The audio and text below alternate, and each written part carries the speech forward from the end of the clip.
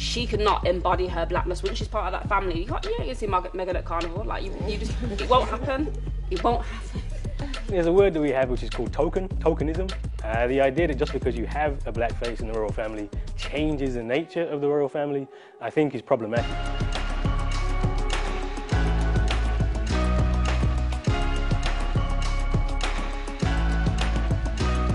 To be accepted, uh, she has to fit into what the royal family is, what the royal family does. Uh, the royal family is white. The royal family does whiteness. The, the, monarchy, the actual monarchy as an institution will make sure that she, uh, if you like, passes for white in terms of what she can say, who she can address. So the only way that she can be the princess is to downplay her blackness. It's not a case of Harry just falling in love with somebody should have been extensively checked out. And the minute he looked at anything that was any darker than Meghan Markle, it would have been a definite no. Who Meghan Markle actually is the person nobody actually cares about. It's just the fact that she's married into the royal family and she happens to be black.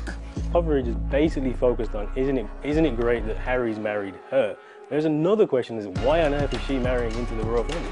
I think that's a question that most of that me and my family have all the time. If you was empowering your blackness, then would you want to um, be associated with the royal family? No, because that's built on racism, slavery, stealing jewels from Africa.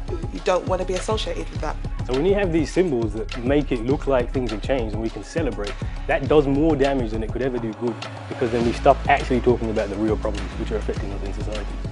It's just convenient that she just happens to be quarter caste or part black and that's what we're all talking about now. No, we've got other things that we could be talking about and there are other statistics that show us actually what the problem is and we could be having a conversation about that instead but no, let's talk about Meghan Markle.